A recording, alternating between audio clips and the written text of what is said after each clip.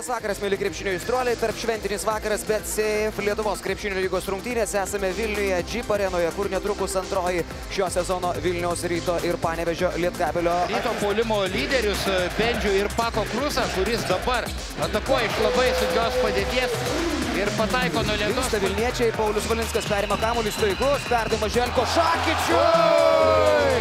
Šiek tiek nepamatuotas, manau, trenerių žingsnis. O, čia visiškas skylė Lietkabelio gynyboje baudos aikštės. Keturis dvitaškius iš penkių.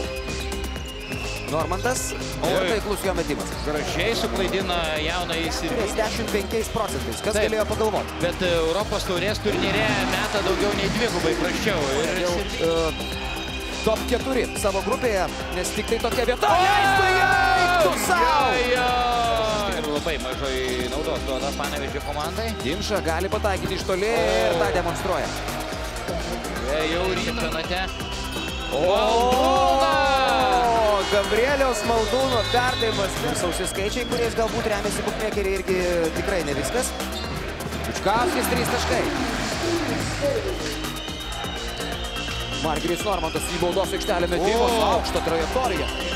Beje, čia Šakytis po krepšiu ir kaip, na kaip jaučia žaidimą, išlaukė jaunojo Blaževičiaus. e, Tarkime, ties perimetru Lietkabelis geriau ginasi Valinskas. Koks greitis, Paulius Valinskas ir koks Arno Butkevičiaus giminaitis, nežinai. Ir Butkevičius po premjero pasirodymo ir Arnas Butkevičius.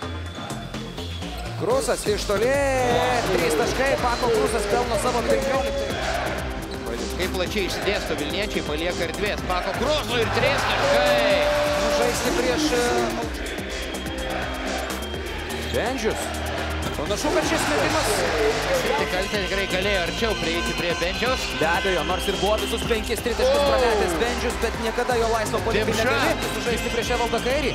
Ir Evaldas Kairis klyjuoja kamulio Ludžiavi prie rankos, penkios sekundės atakai. Labai kvailas sprendimas. Ir tu, Laulai, daro tą patį, ką prieš tai padarė Evaldas. Girčiūnas prieš Gabrielių Maldūną. Trys taškai, rimto. Panevežiečiams šalto proto trūksta puolime. Geresnio kamulio žaidimo. Girdžiūnas. Girčiūno pirminis iš driblingo. Geras Maldūno perdavimas, Dimšai, Dimša, Lipkevičių, Lipkevičių. Trys taškai. Radomaitis. Buvo atakuojamas Maldūnas, bet, Bet paka- kaip atakuojamas Maldūnas ir koks blokas.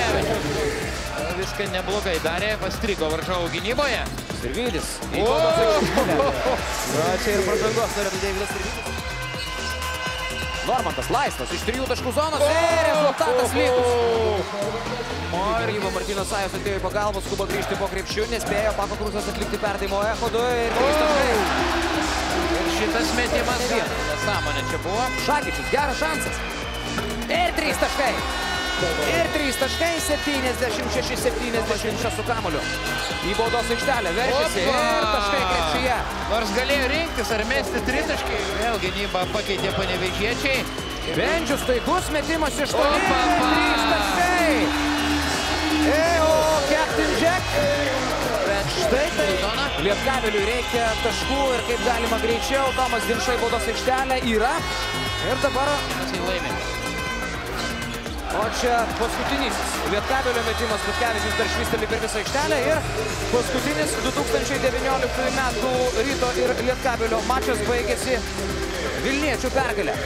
Taigi sveikinimai rytui ir šios komandos ir galiams.